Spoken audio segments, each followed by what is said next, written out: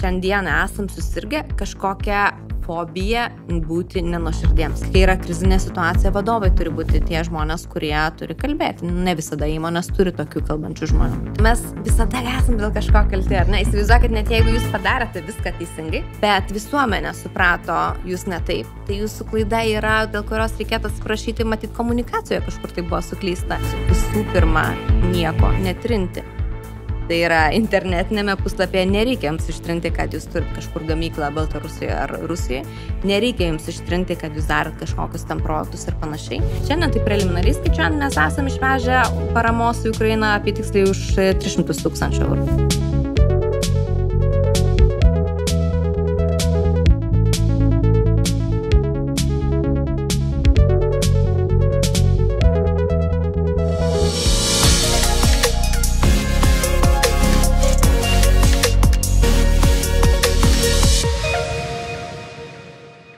Sveiki Prevens podcastų žiūrovai ir klausytojai. Šiandieną pas mus svečiuose Neringa Petrauskaitė, We Are Marketing agentūros partnerė. Kviečiu klausytis jūsų labai įdomaus pokalbio apie komunikaciją karo kontekste. Šiaip kaip diena, kaip, kaip tavo ritmas, kuo tu gyveni dabar? A, žinai, kažkaip bandau laiką skaidyti tarp to, ką turiu iki šiol, ten marketingas, komunikacija, kažkiek universitete studentų studijų ir, ir Ukrainos projektas. Mhm. Nu, mes jį paliesim tikrai išsamei, ten tavo daug gražios iniciatyvos. Iš vidaus tu jauti kažkokių um, bendrai atradimų, tokių savo, kurių dar va, tik tai šiuo laikotarpiu atradai. Gal yra kažko, tu gali pasakyti? Žmonių naujų sutikau, iš tikrųjų turiu, kurių turbūt gyvenime nebūčiau sutikusi. Bet va, tos iniciatyvos, ką mes darom su Ukraina, padedant Ukrainai ir, ir siunčiant ten pagalbą jiems, tai sutikau be galo daug gerų žmonių, labai teisingų vertybių žmonių, su kuriais aš norėčiau labai turėti reikalų ir po karą. Tai Tai čia yra labai didžiulis atradimas ir didžiulė vertybė, mano nuomonė. Tai kadangi pasirinkom tą temą tokią ir jautrę, ir, ir, ir profesiškai įdomią, ir, ir subtilę labai, tai mes pabandykim pasikalbėti apie ją iš eilės ir grįžtant į tas pirmasis dienas, ar ne, kai mes visi sužinom tą naujieną, bet gal neįkim tenai, pasižiūrėkim tą Lietuvos vers, verslo reakciją bendrame kontekste, kaip jinai atrodė, kaip tu ją vertinai, kas buvo gerai, o kas gal buvo ir netaip gerai.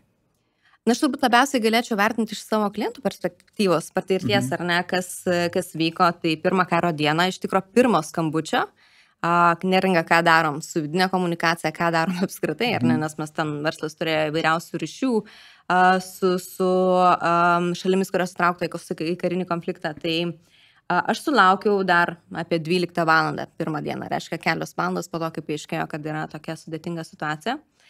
Tai aišku, tie klausimai, kurie vėliau Vilniuje, na, pas mane atėjo labai įvairių klausimų, dėl to, kad mes kaip agentūra, mes veikiam pakankamai plačioji srity, mes ne tik komunikaciją užsiemame. Tai buvo klausimai nuo tokių strateginių dalykų, vos ne, kaip, kaip čia dabar mes turim nutraukti tuos ryšius ar ne, kaip, aišku, tai teisinis klausimas, ir kaip mums persiorientuoti palaipsniui į kažkokias kitas rinkas, jeigu mes neturim ten patirties ir know-how, kaip čia mums keisti visą strategiją, kaip čia keisti visus marketingo biudžetus ar ne ką daryti su esamomis sutartimis dėl kažkokių tai įsipareigojimų tom šalims, galiu padėti su komunikacija, kaip ten tuos dalykus valdyti.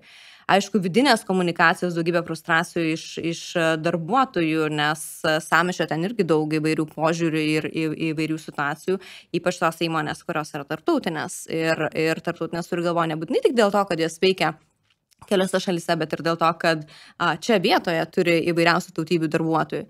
Taip pat a, sutrikimo, pavyzdžiui, iš tiekime dirbančių žmonių, o ką mums dabar daryti, ar ne, kaip mes toliau užsakinėjom žaliavas iš rytų, ar nebeužsakinėjom, ar mes persirantom ir keičiam kryptį, o kaip mums greitai atrasti tos tiekėjus, gal mes galim čia kažkokius marketingo dalykus pasitelkti, na, ką mes, ką mes turėtum iš principo daryti. Uh, Tai kaip komunikuoti galų, vers, galų galę verslo partneriams, jeigu mes turėjom istoriškai kažkokių ryšių ten su Baltarusija, Rusija, Ukraina, ką mums sakyti, ar mes vis dar stabilus esam savo versle, mes dar vis galim savo pažadus e, tiesėti ir apskritai vertybiškai kokia mūsų pozicija, ką mes toliau darom. Tai tų klausimų buvo begalė įvairių, labai skirtingų ir tikrai galiu pasakyti, kad nebuvo vieno vienareikšmiško atsakymo visom situacijom, dėl to, kad visų situacijos buvo labai labai skirtingos.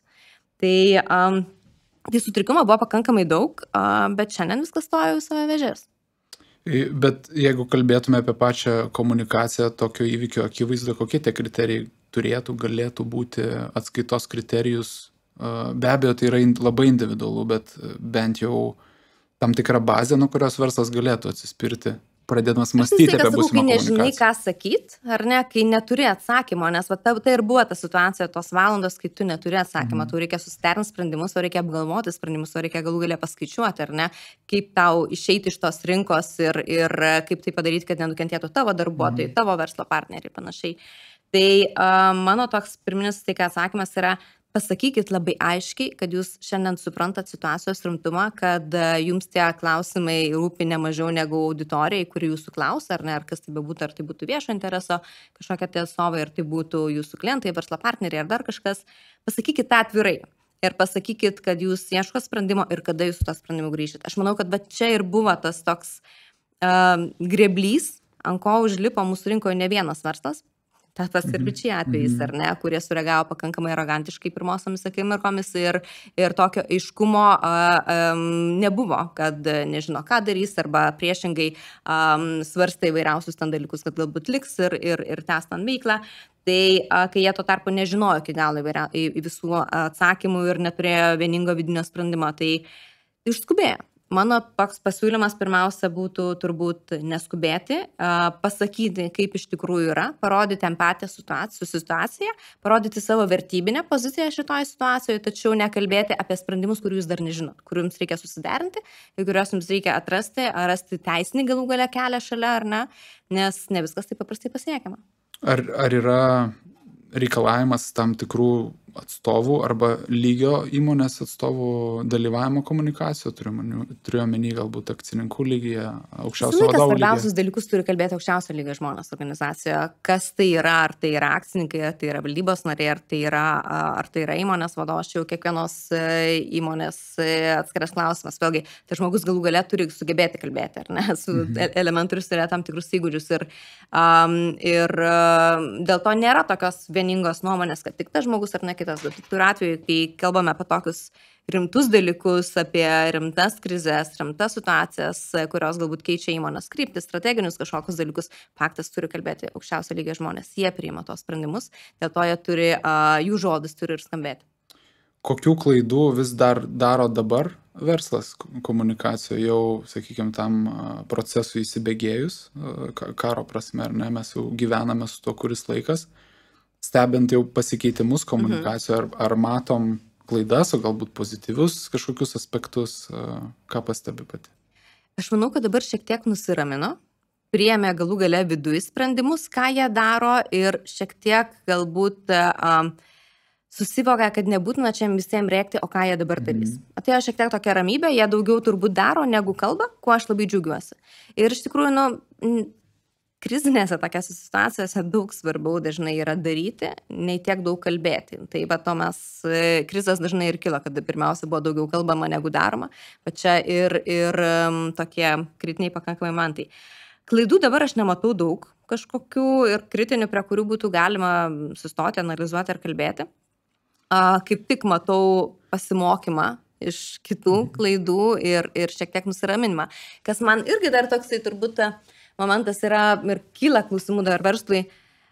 Po Vičiai, pavyzdžiui, atveju, ar ne, kai jie pirmiausia paskelbė, kad čia m, mm, galbūt jie neišeina, tada kilo didžiulis e, žatažas visuomenėje, didžiulis pasipiktinimas e, socialiniuose tinkluose, žiniasklaidoje, visur, ar ne, nuvilnijo šitą situaciją pakankamai, pakankamai plačiai.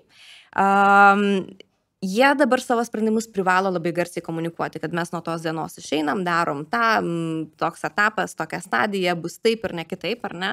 A, tuo tarpu kiti galbūt buvo kažkur paminėti, apie juos buvo kažkur galbūt užsiminta, kitų galbūt visiškai nepalėsta. Jie dabar klausia, ar turėtumėm apie tai garsiai pranešti, kad viskas, mes jau išeinam. Mano atsakymas turbūt yra šitoje vietoje ne. Jeigu jūs buvot prieš tai neigiamam kažkokiam kontekste, ar ne, dar kartelį priminti ir pasakyti, kad, bet, kad bet, mes vis dėlto išeinam, bus dar, dar vienas pretekstas įplėksti situaciją, priminti, kas vyko, ar ne, kažkoks neigiamas mhm. momentas. Jūs geriau tą padarykit, iškomunikuokit tiems, kam iš tikrųjų yra svarbu, tai yra jūsų darbuotojams, jūsų uh, verslo partneriams, jūsų galbūt klientams. Šitom auditorijom vienareikšmiškai jūs turite tokius dalykus pasakyti. Tačiau tikrai jūs neturėtumėte um, galvoti apie tai, jog žiniasklaida yra jūsų prioritetas ir va ten trimituoti ir skelbtis, kad na dabar jau mes išeinam. Nu, kam jums to reikia mhm. dėmesio? Mhm. O kaip e, elgtis verslui, kuris vis dar turi ekonominių įsipareigojimų su valstybė agresorė? Ką aš matau iš savo klientų ir, ne, ir, ir tą patį, tą patį, visą, visą, tą patį jiems patariu, tai tiesiog um, komunikuoti su jais atvirai, kokioje situacijoje esat, kokioje stadijoje, ir nes iš, išėjimas iš tos rinkos, jis nėra toks paprastas ir lengvas, teisininkai tą puikiai žino.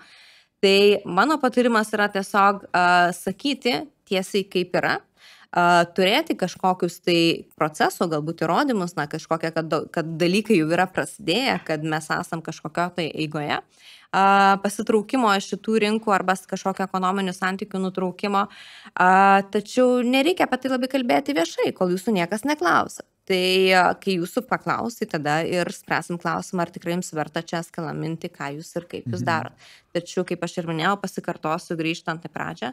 Pirmiausia turi tą žinoti jūsų darbuotojai tada klientai ir verslo partneriai.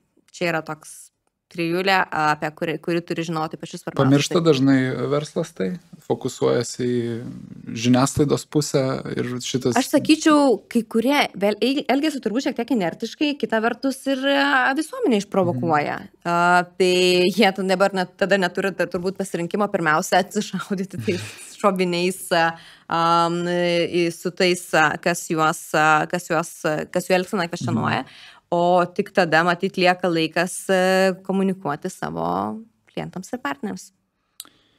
O jeigu mes iki e, karo pradžios, sakykime, turėjome, e, kaip verslas teoriškai turėjo santykius su valstybė agresorė ir jom priejaučiančiam šalim, kaip elgtis su, su buvusiais laimėjimais, su galbūt dar kažkokiais tai esamais kaip verslo organizacijos laimėjimais turiu omeny galbūt, kaip, kokią poziciją užimti čia, nes kai kurios, mhm. kai kurios organizacijos būna labiau prisirišusios prie tam tikros klientų bazės ir panašiai ir, ir, ir vyksta na, tam, tikra, tam tikras pasikeitimas, kaip jį reaguoti ir kokių žingsnių imtis. Aš tikrai turėjau ne vieną tokį pokalbį. Būtent vat, apie šitą, Aha. ar ne, mes tarsi praeidį, praeitie skalambijom kažkokius tai laimėjimus, kažkokius tai partnerystės su, su Rusija, galbūt e, ar Baltarusija, galbūt aktyviai komunikavom, kad mes tam plečiam veiklą darom kažkokias naujas gamyklas mhm. ir kitus dalykus.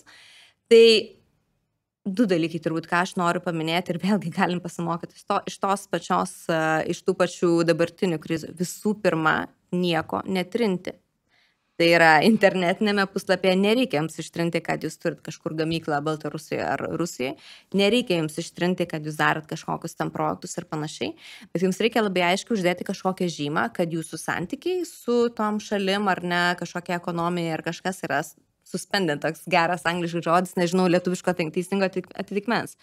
Tai vienas dalykas. Antras dalykas, uh, nereikia užsiciklinti apie tai, kas buvo praeitie ir net tai šiandien yra pats svarbiausias dalykas.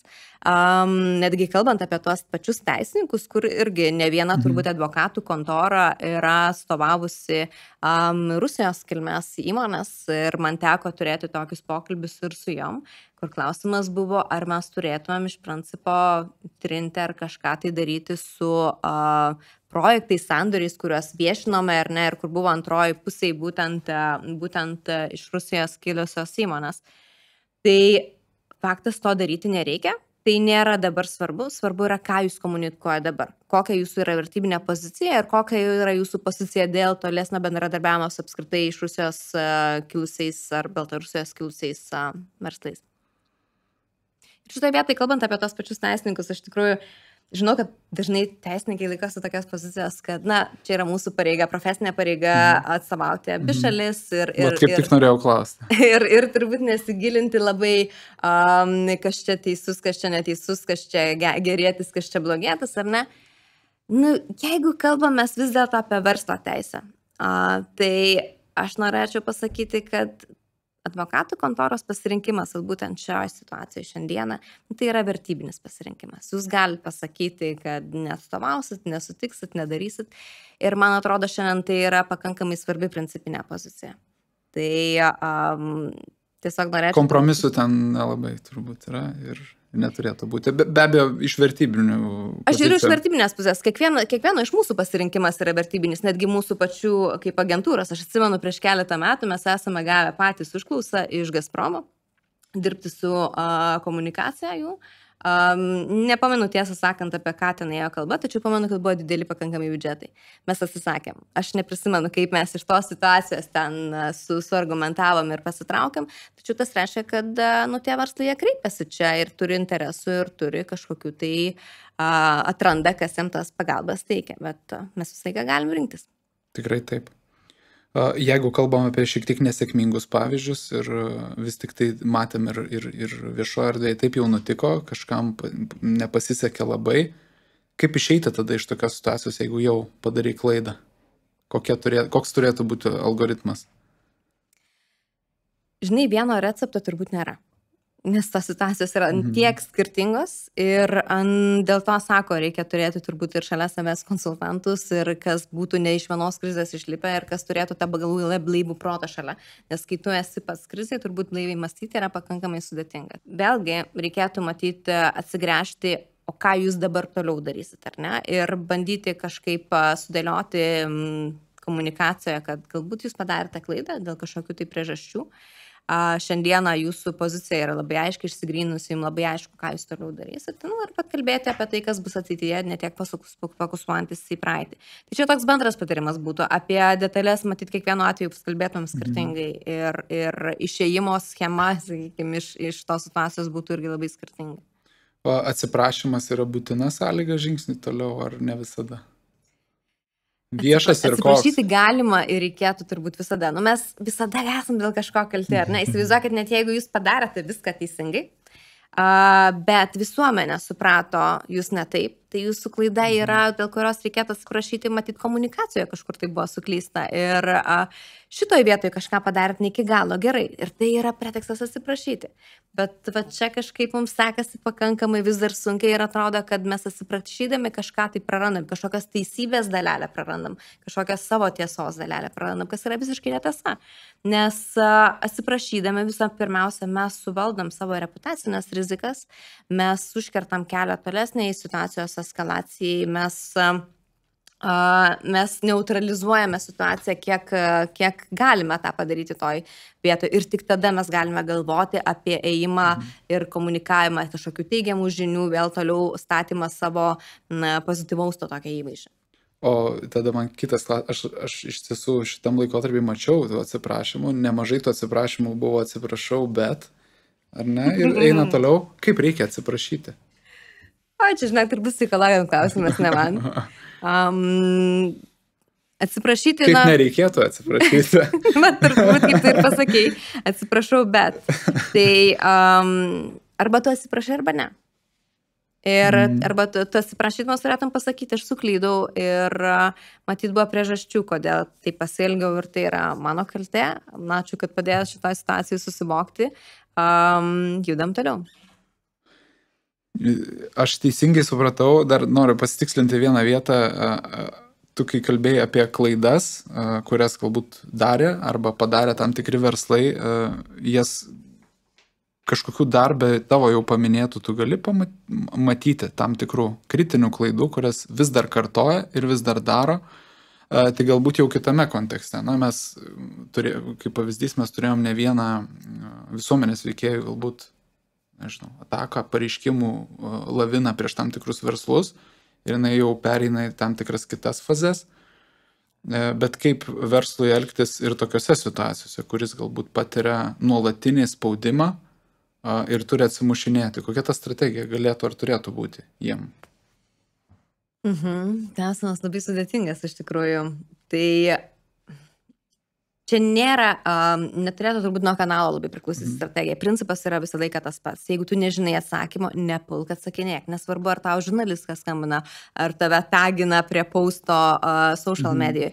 Principai yra tie patys, neturi atsakymą, pasakyk. Žinau, neramina situacija, lygiai taip pat ir mane, neturiu sprendimo, negaliu kažko konkretaus pasakyti, žinosiu rytoj, pasakysiu rytoj. Mm. Pakalbam rytoj. Na tai uh, čia turbūt yra pats svarbiausias momentas ir labai labai valdyti savo komunikacijos toną. Nes šitoje situacijoje visi yra pakankamai pajautrinti. Kiekvienas nesargus žodis, pareiškimas, kuris um, pakankamai būtų neempatiškas, dar labiau jaudrina situaciją. Tai galvoti, ką rašai ir rašyti kuo jautriau ir kuo empatiškiau. Uh, Um, taip pat atvirai sakant, kokioje stadijoje šiandien esame ir ką toliau darysim yra patys svarbiausi dalykai. Labai geri kampai čia taip ištraukiam visai, atrodo, per kitą klausimą, bet labai, labai, labai geros vietos. E, kalbant apie tą komunikacijos jautrumą, mes gal galim taip sakyti, kad pastebėjom ir, ir, ir, ir tam tikrų nukrypimų į, į kitą pusę, ar ne, kad tas, tas nuoširdumas buvo rodomas, bet galbūt tai nebuvo nuoširdu ir galbūt tam tikros įmonės e, ar verslai, e, norėdami to ar nenorėdami, iš per didelio nuoširdumo nuėjo į lankas. Ar tokių situacijų buvo tavo praktikoje reikėjo jas kontroliuoti? Aš daugiausiai dirbu su B2B verslais, tai pas mus tos tokios komunikacijos viešos yra ženkliai mažiau, nes daugiausia komunikacija vyksta tiesioginė su mhm. klientais ir, ir, ir visai kitaip yra formuojamas įvaizdis ir santykiai ir panašiai. Tai ką aš mačiau, tai mačiau apie tos atvejus, ką tu kalbėjai, tai daugiausia buvo B2C prekių ženklai, mhm. skirti jau galutiniam vartotojams kažkokie tai produktai. Tai Bet kas liečia iš mano B2B perspektyvos kliento, aš truputį per kitą kampą matau, mes Lietuvoje šiandien esam susirgę kažkokią fobiją būti nenuoširdiems. Tai uh, ir overthinkinam dalykus. Įsivaizduojat, um, kai kurie mano klientai, žinau, kad aukoja um, dešimtis tūkstančių Blue Yellow mm -hmm. ir sako, tai gal mes apie tai geriau niekur nerašykim nu kamon, ar tikrai nerašyti reikia.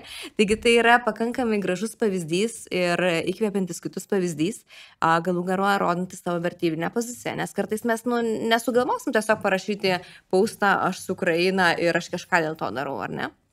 Tai aš čia vat, iš kitos perspektyvos matau būtent iš savo, iš savo um, aplinkos. Mhm. Kitas momentas. Kuklinasi tiesiog verslai. Ir... Kažkaip. Mhm. Kažkaip a, galvoja, kad jeigu jau papasakosiu, kad kažką padariau, tai atrodys labai nenužardu. Ir su tam mano projektu, kur aš turiu vašai kartu su, su draugais, a, mus remia daugybė žmonių. Ir verslų, ir, ir žmonių, kurias mes pažįstam, mūsų draugai, mūsų a, verslo partneriai. A, aš daugybę kartų esu gavusi žinutės, neranga, mes padarėm pavadimą, tik prašau, niekur neviešink ir tenka su jais pakankamai ilgai diskutuoti ir, ir derintis, kad nu, čia reikėtų apie tai paminėti, nes tai, ką jūs darote, yra kilnu, tai įkvepia kitus ir tai yra pakankamai ženklios sumos, kad tikrai vertėtų apie tai pakalbėti. Tai va, aš matau turbūt iš kitos, iš kitos pusės kažkokią fobiją būti nenuširdiems ir apie tą aš jau girdžiu daugybę kartų girdėjau. Iš kitos pusės turbūt um, tų nenuoširdumo atvejų tikrai yra, Ir aš išskirčiau tokias dvi galbūt to nenuširdumo schemas. Um, vienas tai yra, kai tu kažką padarai, bet trimituoji ženkliai garsiau negu to tavo darbo yra svoris, ar ne? Tai vienas momentas ir čia labai, aišku, iliustratyvus, tačiau ne su šito karo kontekstu susijęs pavyzdys. Dar praeitų metų gruodį mes turėjom tokį pavyzdį, kai viena, beje, marketingo agentūra pasakė, jog vietoj kalėdinių dovanų, kalėdinių dovanų biudžetą ten kažkam tai skirs. Ir um, tuos pinigus, na, žodžiu, paukoja kažkokiai tai labdarai. Ir kad tai pasakytų, jie išsipirko verslo žiniausią straipsnį, kuris kainuoja apie 900 tūkstantį eurų, kažkas tai tokio. Nu tai On, ar, ar tikrai tai buvo pats kilniausias jūsų tikslas ir pats protingiausias prieimas, um, kaip šitą iškomunikuoti, galų gale, kodėl tai komunikuojama yra visiems. Jeigu tu tų dovanų neneši savo klientams, tai gal iš pakanka pakankamai jautriai kalbėtis tik tai su jais apie tai. Tai, tai va čia vienas toks pavyzdys. Antras momentas yra to nenuširdumo, ką mes matėm irgi, kai um, tarsi bandymo pasinaudoti situaciją, bet vėlgi čia daugiausia tai matėme su B2C verslais. kai a, buvo sakoma, pirk pas mane kažkokį tai daiktą ir mes ten kažkokį procentą, kartais net neįvandama procento dalis, mhm. arba tai yra labai nereikšminga suma, skirsime kažkam. Tai tas vienas ar ten du ar trys procentai atrodė viskas ok, kai tai buvo įprastos aplinkybės, kai mes skirdavom galbūt kažkokiam kitom organizacijom, bet šiandieną, kai tas pinigų poreikis yra be, be galo didžiulis ir para, situacija yra iš tikrųjų kritinė ir, ir be galo sudėtinga, na tai atrodo labai, um, labai paviršutiniška ir atrodo labai um, komercija labiau orientuotas sprendimas negu į nuoširdžią norą padėti kažkam. Kaip manai, ko galbūt, aš visada taip klausiu, ko pritrūko, kokios klaidos, bet tik dėl to, kad mes galbūt galėtume retrospektyviai pasižiūrėti, pasimokyti ir, ir, ir tuo turiniu šiek tiek duoti tam tikros galbūt edukacijos ar patarimų, kur mhm. šiaip kartais tai yra žemai kabantis oboliai visai arti, bet, bet toj situacijoje tu gali labai sureaguoti emociškai, bet kalbant, tu palėtai komunikacija su darbuotojais, tiekėjais, ta tokia plačiaja prasme vidinė komunikacija. Mhm. Ko, ką ten verslai galėjo padaryti geriau jau pačioje uh, įvykių pradžioje, jo eigoje, ko galbūt ten pritrūko? Situacija turbūt, uh, nuklaidos tokios buvo viena iš klaidų, ką aš mačiau pati, ar ne, kad uh, priėmė kažkokius tai sprendimus vadovai, vertybinę poziciją savo susidėliojo ir pradėjo komunikuoti tai administracijai tik tais, ar ne. Gamyba kažkur tai pamiršo, arba iki mhm. gamybos ne, nedėjo tos žinios. Ir ten daugybė tokio šaršalo, nepasitenkinimo, nesuvokimo, apie ką mes esame, kodėl mes dabar taip darom, o ne kitaip darom ir, ir, ir panašiai. Tai vad kažkaip tai atsirado toksai, matyt, net, neturėjai, dėl to, kad neturėjo savo mm, principų, kaip komunikuoja viduje, kas nuneša žinę iki apačios ar ne kaip visas tas vyksta, tai a, padarė tokias elementarias klaidas. A, tai daugiau, daugiau turbūt, nu, nežinau, ar galima kažkokią sistemą mhm. išvelgti a, ir reikėtų labai lysti giliai, bet elementariai, kai tu neturi jokio krizę valdymo plano, a, tų klaidų pritarai daugiau. Tai bent jau basicai, kas kalba, kur kalba, kas atsakingas už informacijos yra tikrinimą, rinkimą, kaip vyksta komunikacija visose lygmenyse, kas rengia žinias komunikacijai, kas išstoja, kas tas veidas yra sakanti žinia į vidų ir į išorę. Tai tuos dalykus reikia turėti. Tikrai, kai įvyksta krizė, nelaikas dabar pradėti galvoti, kaip mes čia, um, kaip mes čia tą krizę valdysime arba pradėti konkursuotis uh, komunikacijos partnerius, ką mes dažnai ir matome. Mm, bet puikiai proga sugrįžti prie, prie šito ir šitos temos ar ne krizių valdymo planas, kuris visada atrodo, prie jo reikėtų prisėsti, bet jis e, rankos neprieina, kaip sako. Liaudė mūsų. Yra svarbesnių, atrodo, jo, visada, visada būna svarbesnių dalykų. Tikrai turėjom ne vieną uh, komunikacijos krizę uh, per šitą laikotarpį, gal tau įsiminė kažkuri, kurią norėtum pakomentuoti, dekonstruoti. Žinai, Dekonstruoti turbūt, aišku, kalbėčiau apie Vičiai atvejį, bet apie jį tiek daug prišnekėta ir prikalbėta ir tai yra toks tiek ten daug įvairiausių sluoksnių ir perspektyvų, kad turbūt ir mūsų šitos visos laidos ne, neužtektų. Um, bet mano turbūt, mano požiūriu, ką mes galime iš to pasimti, tai pasimti geras pamokas ir žiūrėti, ką jie padarė blogai pirmiausia, ar ne, ir kaip bando iš to lipti. Ir čia netgi lipdami iš šitos situacijos, jie vis dar daro kai kurių klaidų, mhm. tačiau um, jiems tas, tas reputacijos uh, sustatymas vėl į, į vėžes uh, kainuos be galo daug. Tai nežinau, turbūt, mhm. turbūt nenorėčiau labai išsiplėtoti apie šitą. Okay, jo, čia visiškai suprantama. E, gal teko matyti e, ir, ir vėlgi pajausti vidinės verslų komandas, kiek jos yra atsparios e, tokiam informacijos triukšmo suvaldymui ir galbūt, kurių, vėlgi klausiu, kurių kompetencijų ten šiek tiek pritrūko ir kurias dar reikėtų stiprinti būtent viduje verslams.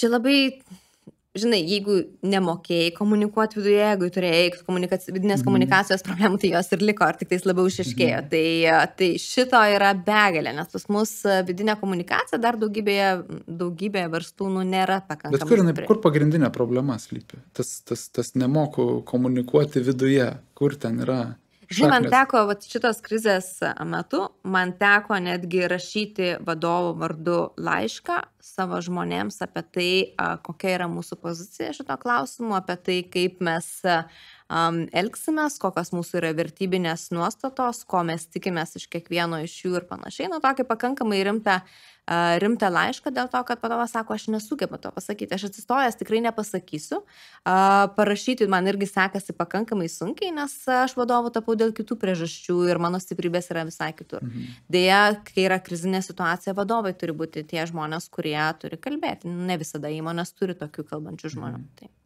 Ką tau pavyko išmokti iš šio laikotarpio? Ką man pavyko išmokti? Dar nežinau, turbūt e, kaip viskas baigsis, e, susidėlios retrospektyviai kažkokias tai pamokas.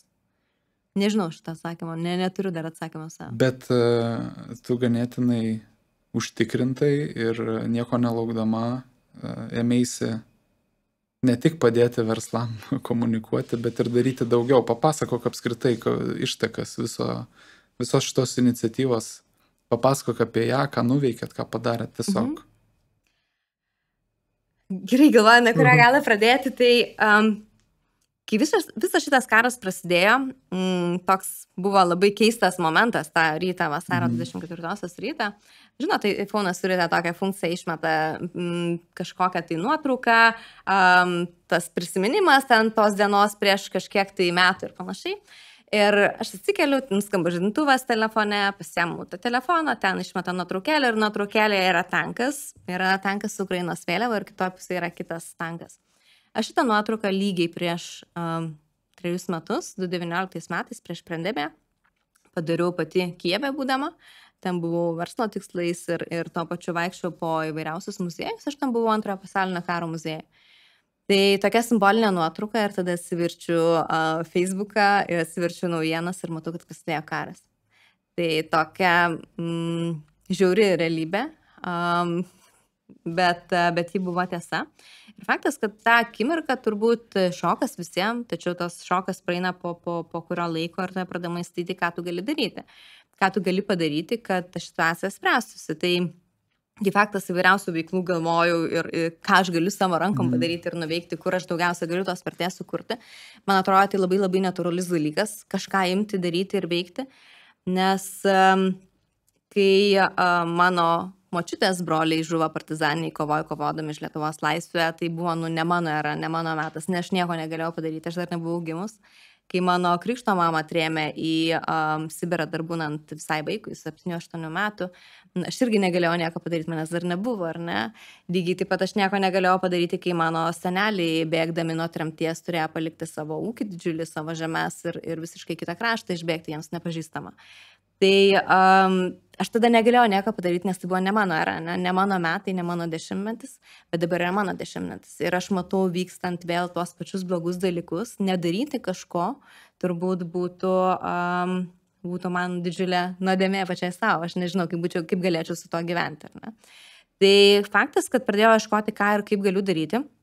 Dariau įvairiausių smulkių dalykų pirmosiomis dienomis, kol nepamačiau um, Jurgitos, Jurgita beje mano buvo mhm. klientė kažkuomet, um, nepamačiau Jurgitos paustų, kad renka medicinės priemonės ir aš jai parašiau Jurgita, um, aš tau nupirksiu ten dėžę visokiausių dalykų. Um, Čia jeigu ką pilnus vardus su visais, visais kredencialais galima sakyti ir duoti pagarbą. Tegul jos girdi. Taip, tai, tai Jurgita buvo kveselaitė ir, ir um, pamačiau jos paustą, kad jie renka kažkokią vežti paramą. Jis yra vienos įmonių uh, homos uh, vadovė ir mm. akcininkė. Tai ir matau, kad jai nelabai sekasi ant komunikacijos dalyti, matau, kad nemato, ne, nesupranta basic principų, kaip reikia tokius dalykus organizuoti, kad iš tikrųjų konstruktyviai gautume labai labai daug pagalbos. Uh, Tai um, aš sakau, aš tau galiu padėti, tuos dalykus padaryti ir va taip mhm. prasidėjo viskas. Jie išvežė pirmą, pirmą paramos autobusą, aš tada dar nedalyvau, antras iškeliavo ten irgi po kelių, po kelių dienų, tada aš jau prisidėjau ir pradėjo vis, visas projektas susivažiavo. Toliau mus vežant ir vežant tos dalykus mes supratom, kad sumos, kurias mes pradedam gauti sąskaitą, Jurgitas asmeninė sąskaita pasidarė per didelės ir, na, mus tikrai pričiups VMI ir mes turėsim susimokėti, susimokėti pakankamai solidų jau GPM mokestį. Tai pradėjau ieškoti galimybių, kaip čia greitai teisinius dalykus sutvarkyti, registruoti kažkokį tai viešai, po kurio vėliavą galėtume visą tą daryti. Tai va ir šitame kontekste iš tikrųjų kartu visas tas buvo prasidėję nuo Richardo, Richardas su Jurgita studijuoja kartu VMI. Um, ir, ir mes taip trysia įsisukom į šitą veiklą, kur pasiskirstam funkcijom ir pradėjom daryti pakankamai mhm. rimtus dalykus. Šiandien tai preliminariai skaičiuojant, mes esame išvežę paramos į Ukrainą apie tiksliai už 300 tūkstančių eurų. Tai um, dabar laukia pakankamai didelis surašta sunta. Um, aš šiandien gavau skambutį, kad pasiekė termovizoriai naujausi, ką, naujausias siuntimas mūsų, ką buvome išsiuntę. Um, dabar laukiame, ruošiame pakankamai didžiulę siuntą, kur bus daugybė automobilių, dronai ir, ir kiti dalykai. Tai siunčiam ten viską. To, ką, to, to, ką jie paprašo pagal sąrašą. Va turbūt esminis momentas ką mes darom ir kaip mes darom ir kuo mes skiriamės galbūt nuo, nuo kažkokių kitų paramos projektų yra, kad mes žinom žmonės, ką mes vežam asmeniškai. Mes turėjom su jais kažkokių tai verslo reikalų, mes juos pažįstame pakankamai gerai ir mes jais galime pasitikėti. Jie šiandien yra tose būriuose ir atlieka kažkokias funkcijas ar vaidmenis.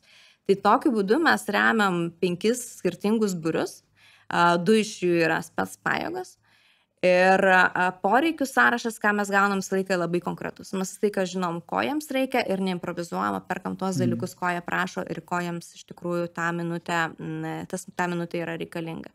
Patys vežam į Ukrainą, tai uh, irgi uh, esame tikrai kieno rankas ir kas kur atitenka, o tai yra be galo svarbu, nes tai yra galų galia ir mano pažadas mūsų remėjams, kad viskas, ką jūs duodat, saugiai nukeliauja ten, kur reikia, kad nukeliautų.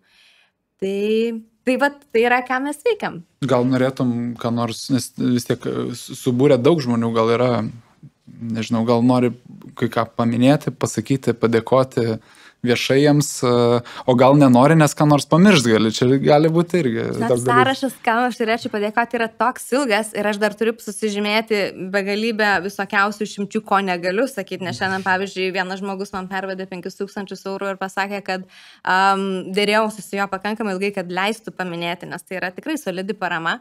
Um, sakė ne, bet jeigu nori, gali paminėti, kad neskleistas remėjas. Tai, tai tikrai turiu susižiūrėti visą sąrašą, kam ir kiek, ką ir ko galiu viešinti, kad galėčiau visiems padėkoti. Tai bus dar tų progų. Bet, Aš net abejoju. Bet labai smagu, kalbant apie kitas įmonės ir jų e, rinkodaros marketingo skyrius, kaip jie galėtų prisidėti tavo manimu ir ko jie dar neišnaudoja. Šito, šitoje srityje, nes daug verslų nori prisidėti. Mhm. Mes matėm ir galbūt iš, išbarstyto dėmesio, mhm ką patartum jiems, nes tu jau gerai žinai, ką reikia daryti, kad parama pasiektų tokia, kokios reikia, kokios reikia ir kam jinai yra reikalinga. Tai aš matyčiau tokius tris lygmenius, kuriuose gali veikti įmonės su savo rinkodaros pagalba. Tai vienas tai yra visiškai mm, mikro ligmuo, kai tiesiog rinkodaristai vidaus įmonės pasitelkiami tam, kad iškomunikuotų, suaktyvintų kažkokį tai projektą. Kaip pat, pavyzdžiui, čia ir buvo gražių pavyzdžių, kai tiesiog įmonės darbuotojai susiorganizavo ir įmonė dar pridėjo kaip papildomai pinigų tam, kad išnuomotų visi kartu būtą uh, ukrainiečių šeimai čia Vilniuje. Tai tokios mikro iniciatyvos, jų yra be galo daug ir labai gražių pavyzdžių. Aš manau, kad tai yra ką lengviausia gali padaryti ir kur tikrai daug nekainuoja vidiniam marketingistui pastangų tą užkurti, suorganizuoti, įkvėpti ir panašiai. Kitas lygmo yra truputėlį jau rimtesnis, kur aš sakyčiau, kad tai yra tas plat, platusis požiūris į marketingą, nes nu, marketingas nėra reklama, komunikacija, ką mes dažniausiai suvokiame kaip patokį. Marketingas yra iš ties visų pirma tikslinės auditorijos tavo poreikių supratimas ir gebėjimas juos atliepti. Ne? Tai vad jeigu mes žiūrėtumėm iš šitos pusės, aš manau, kad mes galime padaryti dar daugiau. Mes galime įtraukti Ukrainą šiandien, Ukrainos verslus, Ukrainos bendruomenę į jūsų produktų, į jūsų a, paslaugų vystimą ir tokiu būdu a, tai išnaudoti kaip strateginį jūsų pranašumą, privalumą m, komunikuojant ir parduodant paslaugas ar prekes užsienį. Tai kažkokie kooperaciniai projektai, bendri jungtiniai projektai, bendri, pro, bendri brandinti produktai kurie tikrai atrastų savo, savo rinką.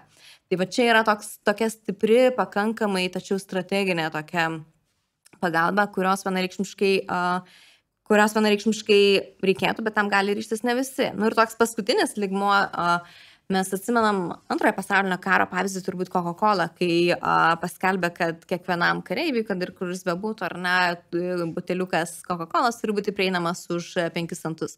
Ir jie ką darė, jie organizavo visur, kur judėjo jų, a, jų kariuomenės, organizavo Coca-Cola išspirstimo kažkokius centrus, kad iš tikrųjų tas pažadas būtų dėlvirintas, nes jų a, vadovas pasakė, kad tai bū, turi būti padaryta nesvarbu kokią kainą. Tačiau yra tikrai mega brandai gali tokius dalykus daryti ir tokias iniciatyvas galvoti, kaip kažką, ką jie turi duoti, bet duoti už uh, išskirtinės kažkokias tai sąlygas ir leisti jaustis komfortabiliai tiem žmonėm, kurie ten yra. Apie tokius dalykus aš nesakyčiau, kad mums turbūt reikia svajoti ir galvoti, tai yra per didelės, per nelik pastangos, tačiau nereikia, kartais tiesiog pakanka gerai dirbti tą darbą, ką tu darai. Ir uh, neužsivelti kažkokiuose kūrybiškumuose, tačiau uždirbti pinigus ir, ir rasti, kam tos pinigus skirti, kam tu, kam tu, tiems, kam tu jais pasitikė. Nu, ir kas svarbiausia, turbūt tikrai nekvailiokit šitą vietą su kūrybiškumu, nes man yra tekę girdėti a, pasvarstymų arba pamastymų, kad gal padarom kokį flashmobą čia vardan Ukrainos, gal kokį iššūkį suorganizuojam. Na, nu, come on, Ar, ar, tikrai, mhm. ar tikrai čia yra tas metas, kada reikėtų daryti tokius dalykus ir, ir ar tikrai čia nėra dar tas vienas tiesiog kitą formą įgavęs vadinamas širdelių ir vėliavėlio etapas. Mes jau jį išgyvenam, dabar reikia tikrai realių veiksmų. Tai pagalvokit, ar tai gali būti mikropastangos, ar tai gali būti kažkokios strateginės, sėkmės didesnės pastangos, tačiau veikit jau tą linkmę. O kam neskirti paramos?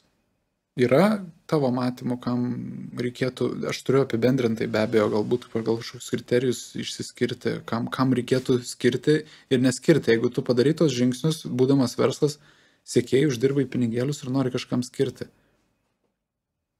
Kok, kokiais kriterijais vadovautis, bet to, kad e, mes turim be abejo žinomus vardus, kuriems galim skirti ir galim jais pasitikėti, bet galbūt yra kažkur, kur mes galim ir suklysti. Ar tu to nepastebėjai, nes, nu, vėlgi, matai daug. Buvo čia įvairiausių tokių dalykų, aš man atrodo, žinau, apie ką tu kalbi. Ir, ir um, reikia pripažinti, tą teko um, susidurti su tuo ir teko patirti, viskas baigėsi labai gerai, aišku, lygiai taip pat teko ir, ir mums. Uh, turiu galvoj su korupcija Ukrainoje, mm. su dinkstančiais kroviniais ir, ir visokiausiais kitais dalykais. Mes turime schemą ir galimybių tą valdyti ir užtikrinti, kad delivery būtų 100 mhm. procentų. Mhm. Bet dėja, nu ne visada taip įvyksta. Aišku, tai yra pavieniai atvejai, jų nėra tiek kosmiškai daug. Dėl to mano toks turbūt pasiūlymas būtų, kad ir ką jūs nuspręstumėt daryti, būkite tikri arba remkite tuos, kur jūs žinote, kur teisingai bus tie pinigai mhm. panaudoti. Na, arba per žmonės tą darykit, kuriais pasitikit.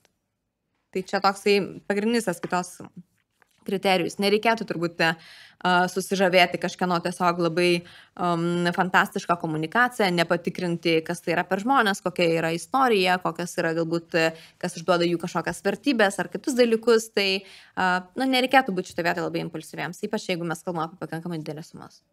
Ar projektuojat bent jau ketvirtį pusmetį į priekį, kas mūsų laukia? Tai kalbė apie karą? Aš kalbu apie tą kontekstą, kuriame dabar gyvenam ir mhm. mes vėlgi žengiam į vis kitas fazes, ar ne, mhm. mūsų dėmesys, ar tai mes priprantam, ar, ar, ar prisipratinam prie situacijos, mes einam į tam tikrą kitą, kitą ciklą. Koks mhm. jisai galbūt matot, galbūt matot kažkokius būsimus iššūkius ar būsimas problemas, ar net gal būsimas jau klaidas, kuriam jau reikia bėgti, ruoštis dabar. Aišku, sunku labai tą pasakyti, bet galbūt pasvarstymai, mintis. Kalbant apie verslą, ką aš matau, ar ne, jeigu verslo mhm. dabar dalykus taip, taip. skirtumam, tai um, verslas tas, kas turėjo kažkokių reikalų su um, rytų valstybėmis ar nedalyvaujantėm šitam, šitame konflikte ir, ir karinėje kare, uh, tai a, jie deda milžiniškas pastangas persiorientuoti į kitas rinkas. Ir, ir va čia yra naujas jų etapas, naujų rinkų atradimo, naujų, naujų taktikų patikrinimo, naujos strategijos galbūt patikrinimo. Mentaliteto pokyčiai. Taip, mentaliteto pokyčiai. Beje, labai įdomu iš tikrųjų, man tenka susidurti dabar su tokiam situacijom, kur, pavyzdžiui, a, įmonė a, turėjo 90 procentų rinkos Ukrainai. Viskas, rinka užsidarė, tam pardavimų šiemet nebus, nors planai buvo pakankamai dideli Ir a, faktas, jei tai reikia persiorientuoti kitas rinkas. Visa komunikacija, kad turi brendo identitetas, a, įvaizdis, supratimas, kaip vyksta pardavimai, yra orientuoti į tą rinką. Ir jie šiek tiek skiriasi, skiriasi palyginus su vakarais. Dabar jiems kalbant, kad galbūt norėtų ir svajonių rinkos yra Skandinavija ar Vokietija, kurios yra pakankamai stipriai, stiprios kultūros, turintas gilias šaknis ir jų mentalitetas yra ženkliai kitoks, jie visiškai kitais kriterijais vadovantis prieima sprendimus tas persiorientavimo procesas ir lūžis yra pakankamai sudėtingas. Tai bet aš matau, kad dabar mes įeinam su kai kuriais verslais, kai kurie verslai įeina į va šitą etapą ir, ir stengiasi jį kažkaip paspartinti, nesupranta, kad jeigu neįjungs antros ar trečios pavaros tą darant tą pokytį, na tai tiesiog pavėlos ir jie pakankamai labai pakankamai patirs uh, ženklius nuostolius dėl to. Tai čia kalbant apie verslą, kalbant apie, uh, apie tos paramos projektus, aš manau, kad uh, Nu, čia labai sunku pasakyti ir aš manau, kad niekas negali pasakyti, kaip čia viskas klostysis ir kaip čia, ir kaip čia viskas vyks toliau. Kol kas mes turime planų tą tęsti, nes vis gauname prašymą tai vienų, tai kitų dalykų, e, kurie yra reikalingi. Šiandien mūsų kariai yra pagrindinėse karštuose taškuose, ten, kur vyksta didžiausi mūšiai. Tai mes negalime sitraukti, turim tiesiog daryti tai, ką darom. Ar nereikės dvigubinti, trigubinti pastangų, kad ta graži parama nenutrūktų tokiu lygiu, kokie jinai yra? Aš dabar tai jaučiu. Aš jau dabar tai jaučiu, kad reikia verstis dvigubais kūliais, norint surinkti tą patį paramos kiekį, kokį pavykdavo surinkti pirmosiomis savaitėmis. Tai yra ženkliai sudėtingiau. Dėl to reikia pakankamai gerai apgalvoti, ką ir kaip komunikuoti ir asmeninis kontaktas, asmeninis ryšys šito vietoje yra be galo, be galo svarbus. Mhm. Neringa, ar ką nors mes dar nepaminėjom, kas būtų svarbu? Ką mes nepaminėjom, aš galvoju, kad mes šiek tiek gal praleidom tokį momentą, kažkuris pasimetė, bekalbant, kad mes dažnai galvojame daryti mums kažką nedaryti, komunikuoti apie savo paramą, nekomunikuoti, um, rašyti tas linksmas žinutės Facebook'e apie kažkokias savo pergalės ar, ar mhm. LinkedIn ar nerašyti.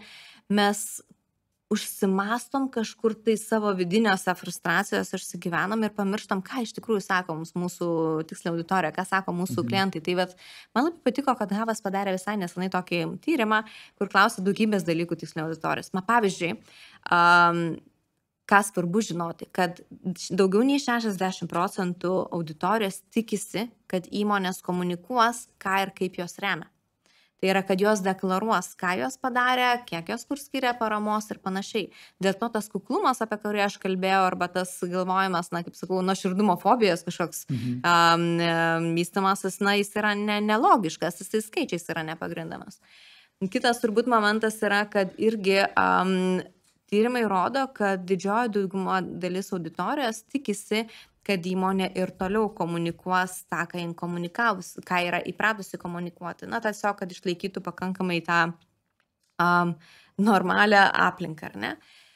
Tai viskas su tuo yra tvarkoje, tik tais aš manau, kad čia reikėtų keletą dalykų įsivertinti. Pirma, tai mes turim pergalvoti kiekvieną savo žinutę su didžiulė empatija.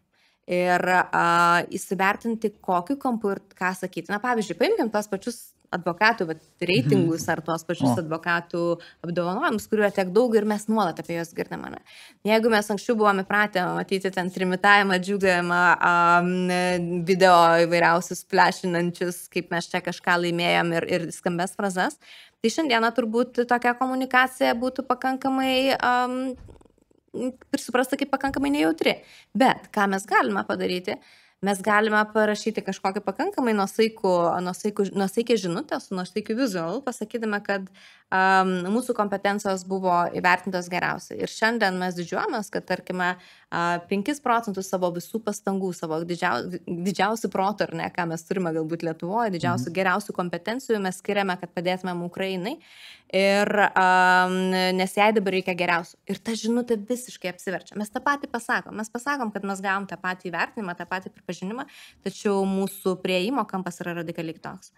Tai vėlgi kitas momentas, jeigu kalbėtume apie tą komunikaciją, ką reikėtų um, nepamiršti dar poros tokių turbūt momentų. Vienas yra šiandien pakankamai jautriai visi reaguoja į tai, uh, matydami, kur jūs išleidžiate pinigus.